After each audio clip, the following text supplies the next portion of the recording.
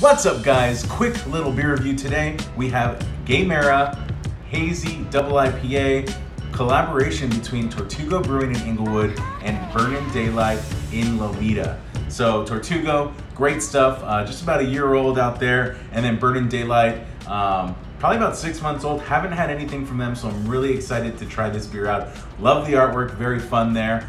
Um, so let's crack this can open, see what's up. And just a quick word from our sponsor, this beer review is brought to you by The Bottle Shop in Sylmar. Really great beer, really great stop to get a bunch of awesome local, regional, national beer. They bring in some stuff that you really don't see at your local beer store. So check them out in Sylmar. So let's uh, pour this here.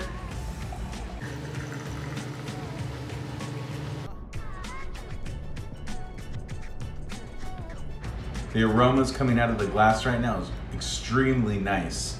Um, so this beer is hopped with Galaxy, Nelson, and Citra. Uh, so if you know those hops at all, you know very, very good, very aromatic. And yeah, a lot of tropical fruit flavors coming right out of the glass. Orange peel, a little bit of pineapple. Um, yeah, and it's got like a nice fluffiness to it too. The head uh, is kind of sticking there right at the top. It's got a great looking haze. Uh, when it was pouring, I wasn't sure like how kind of thick and murky it was gonna be. It was looking a little bit thin, but um, actually the appearance on this looks like a very nice hazy IPA. So um, without further ado, let's give it a whirl. Crowbar up.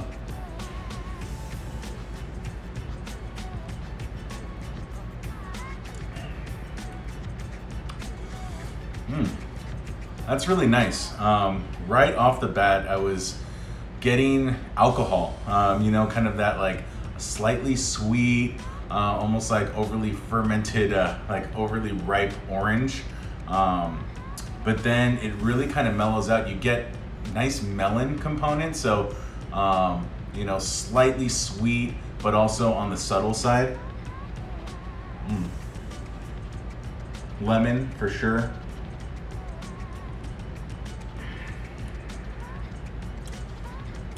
Yeah, it's got a really nice sweetness to the back end on it that reminds me almost like kind of like a citrus dessert of some kind, almost like uh, almost like frosting, like or like a citrus flavored frosting.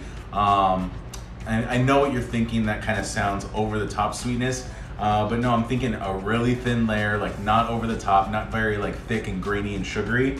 Um, but yeah, it's got kind of like kind of a creamy citrus component that I really like to it. The mouth feels on point. Um, it's actually a lot thinner than I thought it was just from the appearance. Um, but I, I, really like that in this case. It makes it a very approachable beer. Um, I'm taking like really nice sized sips of it, continuing to come back for more. It's really coating the entire inside of my mouth and then washing right away and then leaving it um, really juicy, like salivating. My tongue is like really watery. Mmm, really nice beer.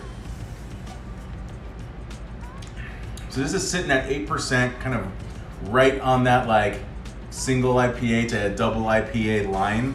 Um, so you're not going too big uh, in terms of that double IPA ABV range.